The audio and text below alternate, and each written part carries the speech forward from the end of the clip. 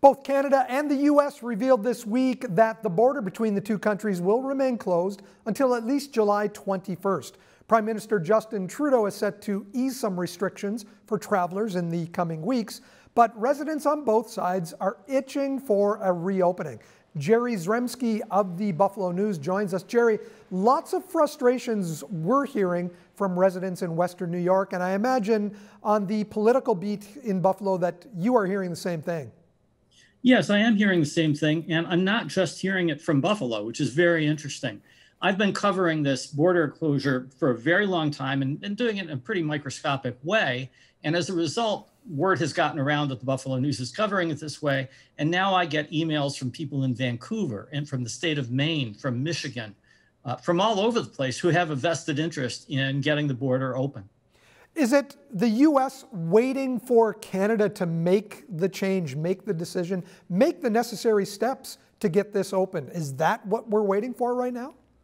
That is pretty much what I am hearing from my American sources that, that America is ready to go, but it does not want to go on its own, that it wants Canada to come along and for the for both sides of the border to be opened at the same time. So that's what we're waiting for. We're waiting for Canada to become comfortable with that. What are the opinions in the United States and New York State in particular about Justin Trudeau and Doug Ford at this time?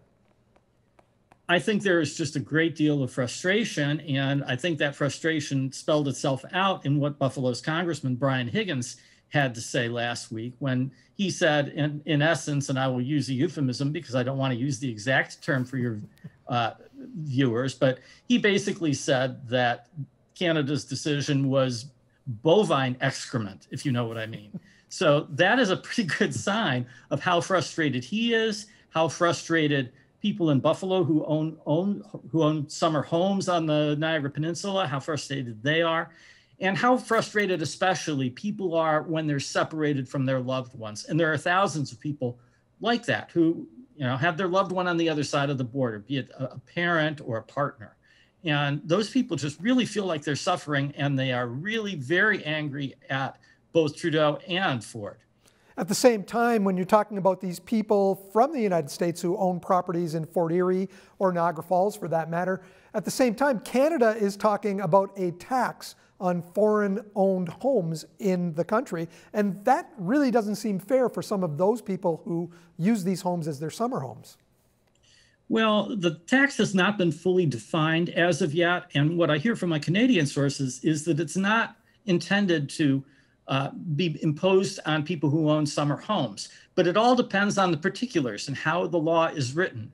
If it's just a flat out tax on vacant property and people have not been able to go to their summer cottages for more than a year, do, do they get swept up accidentally in this? And there's just a lot of concern in the United States that that could conceivably happen.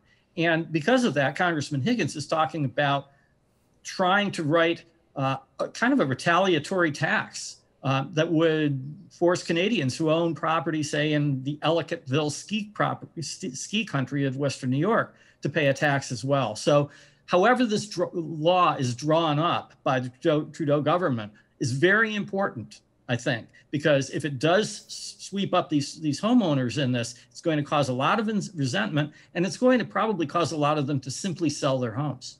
We obviously need the American tourists to come back up to get things closer to back to normal. But I was shocked to know that Buffalo relies on, I think it's about 39% of its visitors come from Canada, which is something that I really didn't know the number was that high. Oh yeah, and it's it's huge for a lot of reasons. We have Canadians who come across to shop at uh, at the Walden Galleria Mall. We have Canadians who come over for Bills games or for Sabres games. Um, and, and we have other tourist attractions as well. So, so there are, are a lot of reasons for Canadians to come over. And the sense I've always had was that the Buffalo region and the Niagara region of Canada were really like one contiguous binational area. And what this is really doing is ending that, at least temporarily. July 21st is the day that is marked, but we know from experience over the last 15 months, we've heard a lot of different dates, and then we hear a new date just before that date that was targeted. Do you expect that's going to happen again, or will we finally see it happen July 21st? I have a gut feeling that we will see it happen finally on July 21st. And the reason I feel that way is because Canada's vaccination rate has accelerated to the point where a very significant number of Canadians will be fully vaccinated by that date. So my gut tells me that uh, July 21st will be the magic date. Jerry, thanks so much uh, for sharing the perspective from south of the border. That's Jerry Zremski, Buffalo News, Washington Bureau Chief. Thanks again. Thank you so much.